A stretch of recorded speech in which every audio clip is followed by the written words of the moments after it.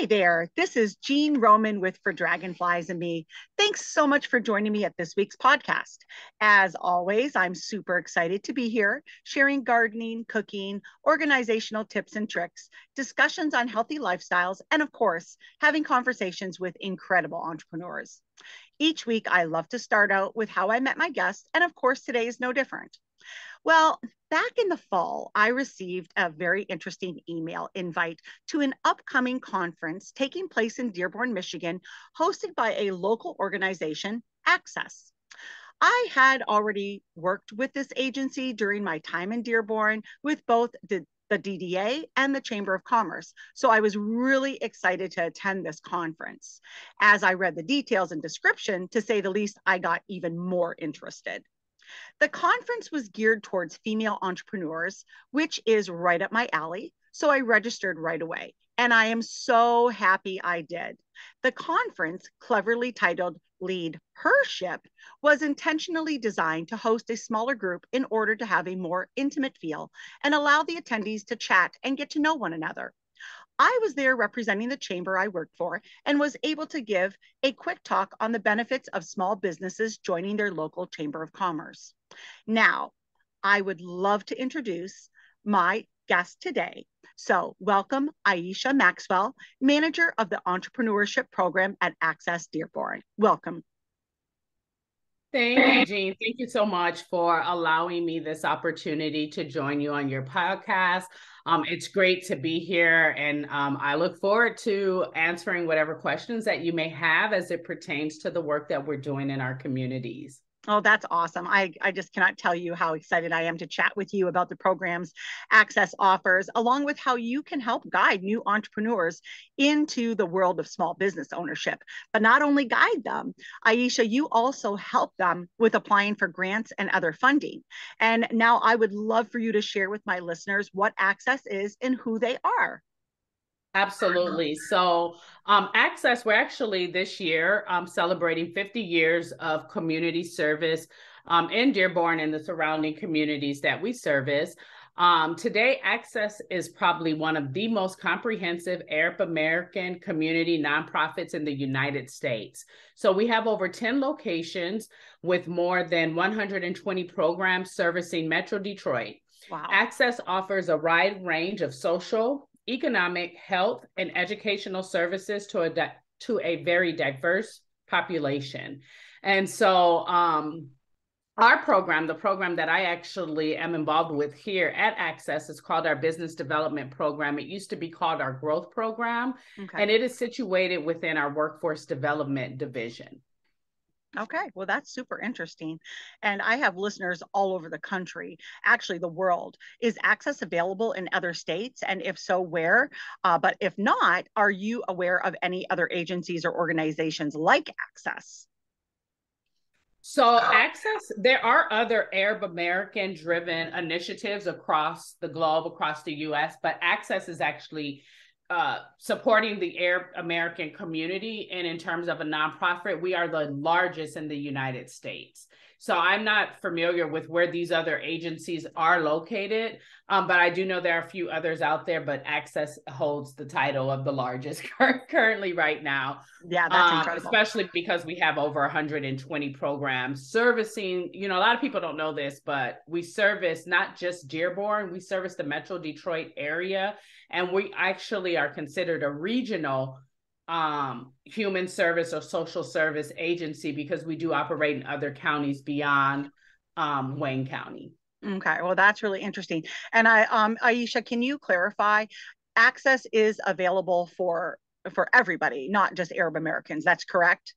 That is absolutely correct, Jean. Access originally started 50 years ago to support the um, the growth of Arab Americans as they, as they were landing here in the Dearborn community.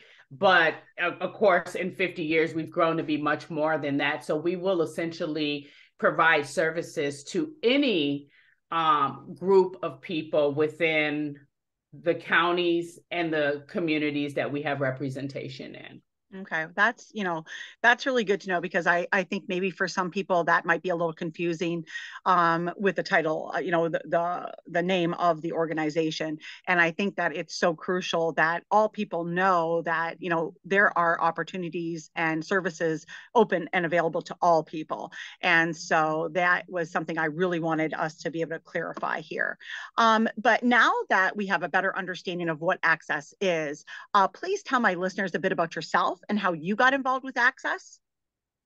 Absolutely. So, um, I've been in the world of business development, or what we call in this space economic development, with a small business development focus um, for a little over 10 years. And actually, next year it'll be 11 years. And so, um, me, like everyone else, I was home during the pandemic, just working my small consulting business and um, doing other small projects on the side. So I, I, I pretty much spent the entire core of the pandemic in my home. And so um, I was originally doing this work on the eastern side of the state, I mean, on the western side of the state. And mm-hmm. as the pandemic hit, I was like, you know, let me get home in case yeah. I'm not able to get back, in case I'm not able to get back over here.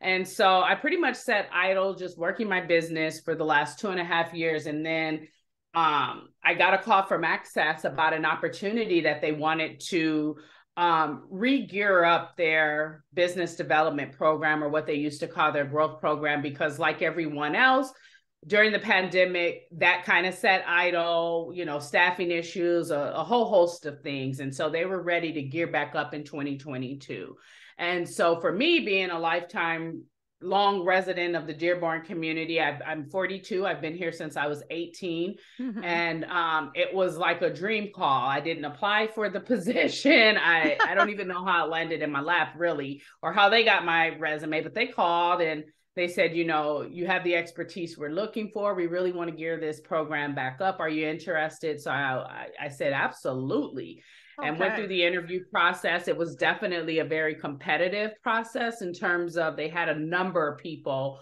wanting to come into this space and um, reactivate that program. And so I was very lucky and very fortunate that they did choose me um, during the selection process. And so um, I got started immediately. And so uh, the whole host of my role with their growth program, or what we're now calling our business development program, is to help grow and elevate entrepreneurs across Wayne County. And so, and that's exactly what the program entails that that is just incredible. And you know with all that being said i remember clearly at the conference uh, the leadership conference where we uh-huh. first met uh, you telling me you live and breathe your job. And that was so inspiring. It resonated with me so much um, the positive energy you release clearly expresses your heartfelt passion to help others you know especially female entrepreneurs and some of the young gals that i met there. I, I think you know i've already had uh, some podcast recordings with them and it's just been incredible to meet so many people. And it's like i mentioned you know i loved when you told me that your goal for those conferences seminars um, was to make them really small small scale. I think we had what 42 people there that day yep okay yep. 42 and, um, women it was mm-hmm. very intimate like and that was your goal and i just want to tell you that you succeeded with that uh, because i think i was able to talk to at least half the women and you know meet some incredible people and i love how you've been telling me that they're now connected outside of that meeting having met them you know met each other some of them for the first time there and that's yeah. inspiring ayesha yeah and it, it's incredible but yeah. um can you share with my audience what inspired you to do what you do?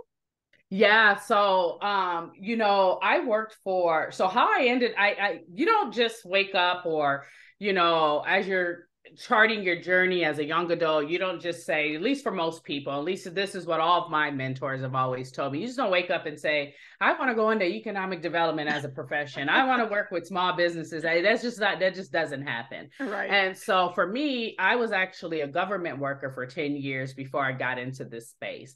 Okay. I worked for the state of Michigan in an assisting role, so still being somewhat of a servant, right? Uh-huh. And so I worked for the unemployment agency for about 10 years and, and we went through a heavy layoff. And so what that did for me is it propelled me to look at my skill set And I've always been an entrepreneur. I've always sold things or sold a service. I've always done that. But this really propelled me into doing this on a larger scale because I had worked for the government for 10 years and I thought I was going to retire from there when I turned 65 and I just didn't know what to do. And so as I'm gearing up my business, I end up applying for a position that I didn't know was with an economic development organization. And I had never really heard that term before. I didn't really, I mean, you know, you go through college, you know, economics, right? Mm-hmm. yeah, avoided it, but had to take it. yeah, that was the extent of it. And I was trying to figure out how can I not take these courses? Yeah, me right? too. and so um, I ended up landing at this economic development agency um, because one of the things that I do well, which I do so many things, and I've realized that I've just got to hone it in into one area. But I used to build databases, okay. and so Detroit Economic Growth Corporation hired me essentially to work on their database. This organization hired me to work on their database, so we're going to hire me to work on their database.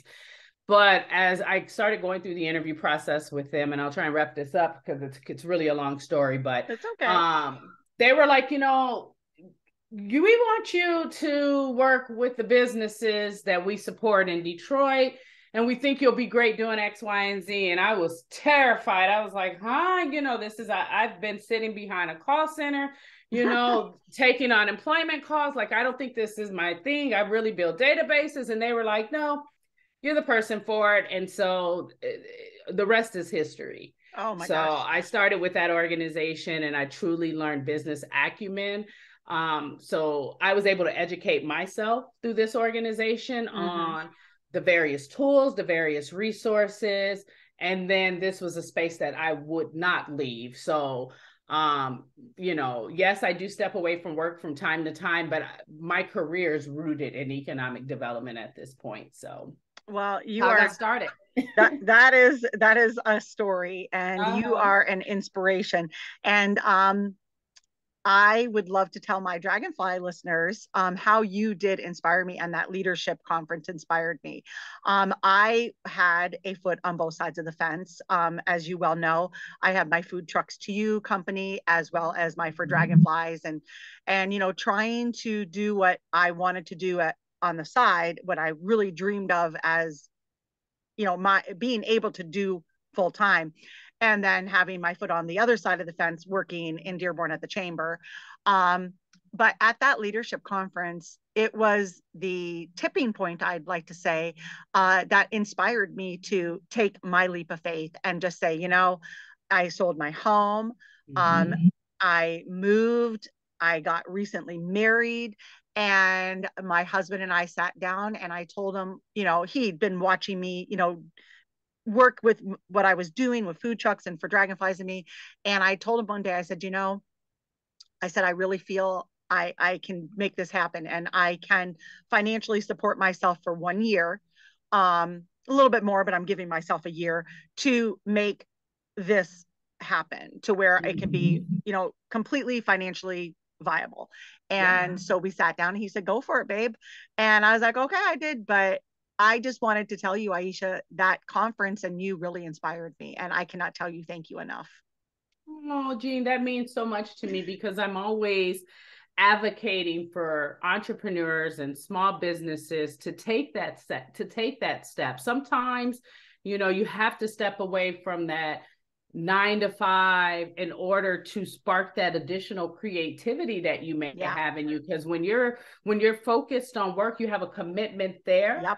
and then your business kind of takes somewhat of a back burner to that so 100%. for those of us who ha- are fortunate enough to be able to step away to be able from a financial standpoint to be able to still support our families to be able to still put food on the table um you have to do it because you won't know what that lane looks like if you don't and you don't exactly. want to ever live in the moment of the what what if i had done that or you know yep exactly so. and i think that's like you know so i think i explained to you and if i didn't i apologize but my my blog my for dragonfly it focuses primarily on cooking and gardening and organization um but my podcast the what i wanted to add to that was this portion, the entrepreneur part. Yeah. Um, and giving people who may be listening like just stumble upon my podcast and like oh that might that looks interesting and listen to it and then hear different stories from different business people who may still have a foot on both sides of the fence or who have taken that leap of faith and inspired them.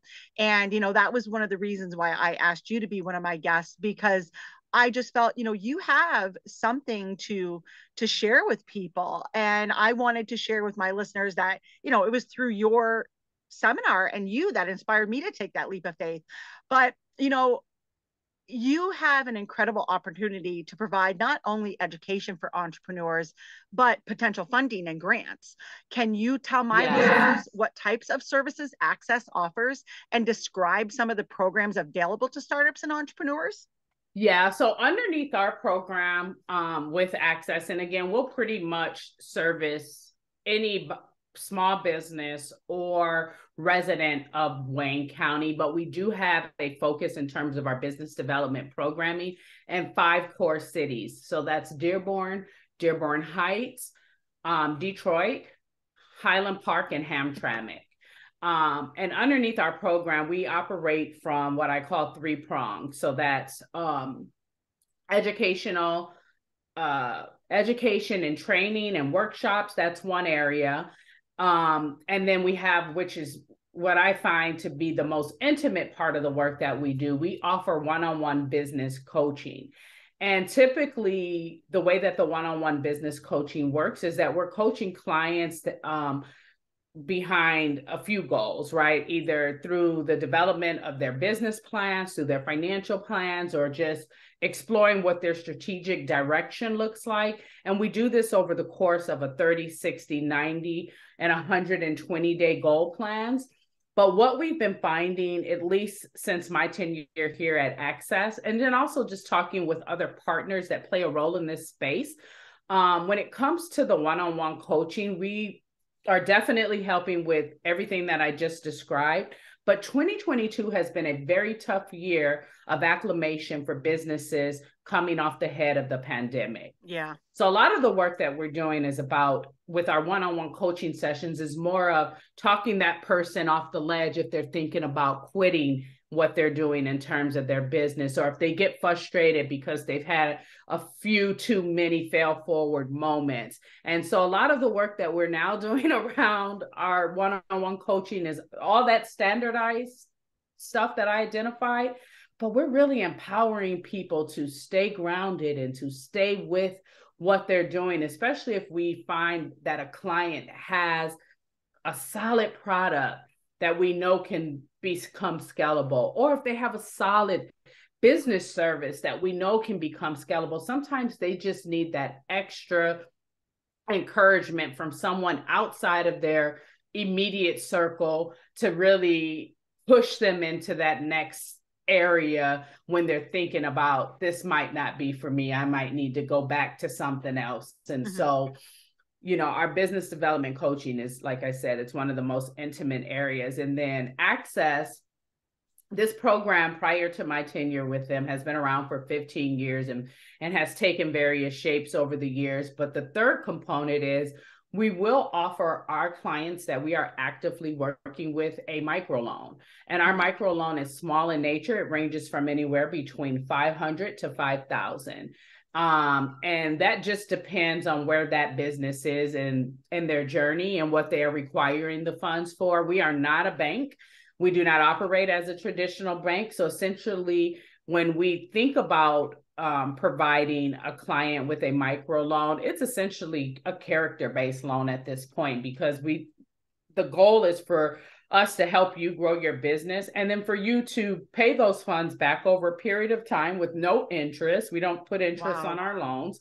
Um, and that way we can pay it forward to another business. And so we do a number of those throughout the year, but that's really the core three areas of focus for our business development program is to educate and train, um, coach and empower, and to provide access to capital. Now, the fourth component is being a connector in this space as well. Now, Access, we have our core things that we do for our clients, but we're also a part of a huge ecosystem in Southeastern Michigan that helps to support the growth and development of micro entrepreneurs or existing budding businesses.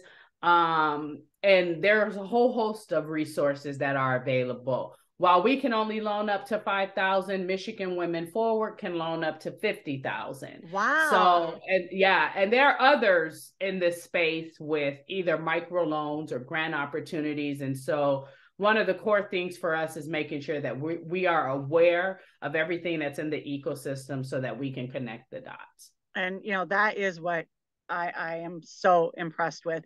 And what another reason why I wanted to have you as a guest, because, you know, of course, if you're in the South, uh, Southeast Michigan uh, area, you know, they, you can definitely provide some uh, services, but also you're a great connector. And so, Dragonfly friends, if you have been dreaming of starting your own business, but just don't know how or where to start, this is your opportunity. Ayesha can, if nothing else, point you in the right direction or at least try to. Um, so, if you have a foot on both sides of that fence and you're just not sure if you should take that leap of faith, today might just be the nudge you need. So, Ayesha, that's just incredible information. Thank you, Jean. Especially guys, as you're approaching, right? 2023 is a new year. And so I don't like to do uh the traditional what do they do every new year uh, resolutions um, but i like to set goals whenever yes. new year is approaching and so this may be that opportunity for you to set a first of the year goal of starting that journey yeah, I think so too. And that's like, again, it's just incredible information and opportunities that you know, people may just be sitting out there stumped and not knowing where to begin and and just needing that guidance and and information that they can't find that may not be easily accessible. And for some people they may not have availability to the internet. And so going to a library or a friend's house or something you know that might be more challenging for them to get that information. So hopefully yeah. anybody listening to today's podcast um, this will this will give you that nudge again but um access has the ability to assist, improve, and empower those in need. And it rests on the support of the community. And listeners, if you feel touched and if you have, uh, you know, financial or even, you know, uh, time as volunteering, you know, you can reach out to access on their uh, visit the donation page to find out how you can help them change lives today and build a legacy for tomorrow. But thanks for joining me today. And Ayesha, thank you for sharing what Access can do for folks who want to start their own business and the steps on how to do it with all of my listeners. So thank you again for taking the time. You're welcome, Jean. And if you don't mind, before we cut this out, I yeah. would like to go back to the leadership oh, series. Oh yes, please. Um, because I think we didn't we didn't touch on that and just explain, you know, where that came from and and where we're going with that. So, leadership was something that I actually started about, I don't know, three or four years ago and okay. it's one of those things that never got its footing right? I just i knew i wanted to do something with women business owners and i wanted to create something unique. And this is what me as an entrepreneur the way that i'm always thinking is what next project can i do? And anyways this was one of those projects that i kind of just set aside and so um, I decided to um, roll it into my programming at Access and um, and and launch it there. That's and awesome. so we did our yeah we did our first one November first, which is and, the one I attended, right?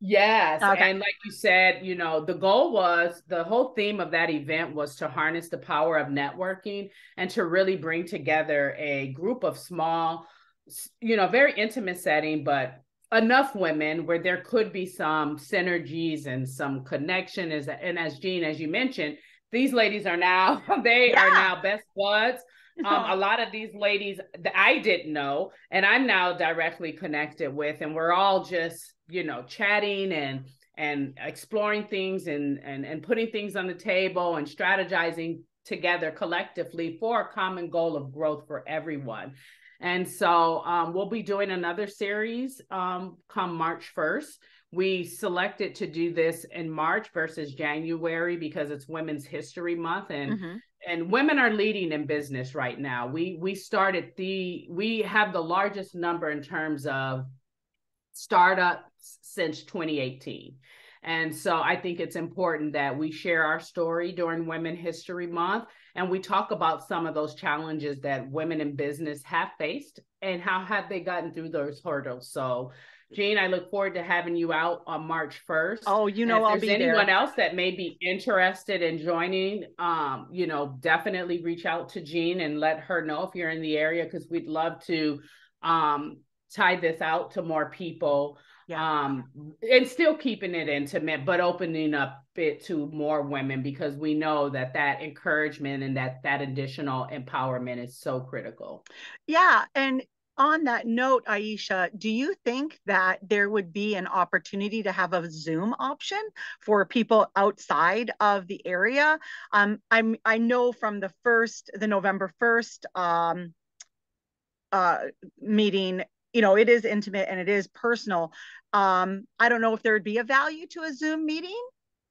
Um, there could be definitely be a value to a Zoom meeting. I am uh, exploring that as an option uh towards the end of the year. Awesome. So, okay. Yeah, towards the end of the year. But or we could, you know, our team and I are thinking of creative ways to spread this out to the masses because again, uh, Access is the largest Arab American community organization in the United States. And we do get a lot of people that reach out to us for various wanting to tap various areas of our programming that mm-hmm. are not available or that we typically don't have available in other areas outside of Wayne County.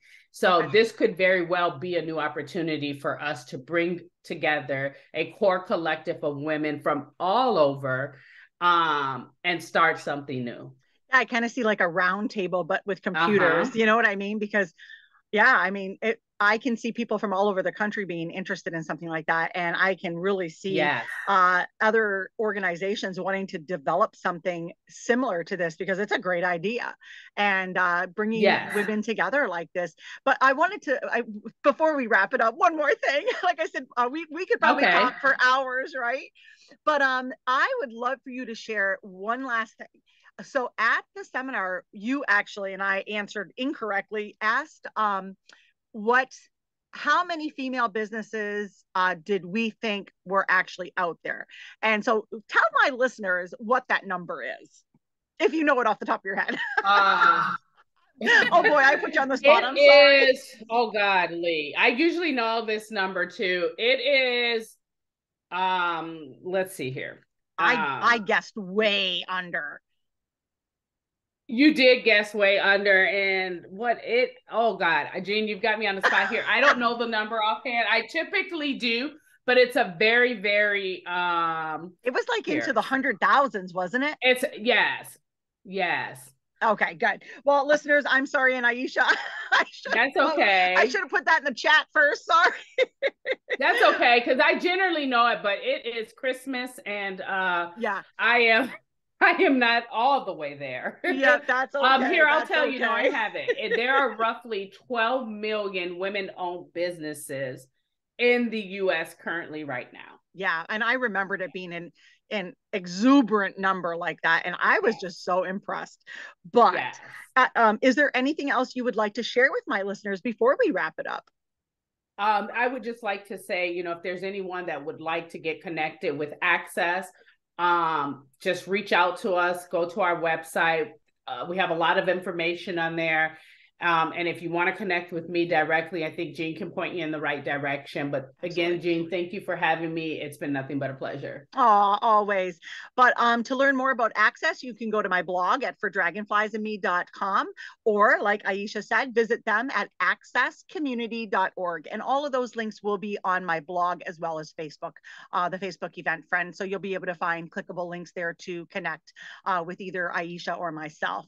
But again, thank you for joining me here today today. And thank you, Ayesha, for sharing again what Access can help other people with, and especially female entrepreneurs. Uh, but now, listeners, Absolutely. please follow me here and at my blog at fordragonfliesandme.com. And if you haven't visited me on Facebook, there yet, please like and follow me for daily inspiration, recipes, and gorgeous photos. Until next time, friends, happy day.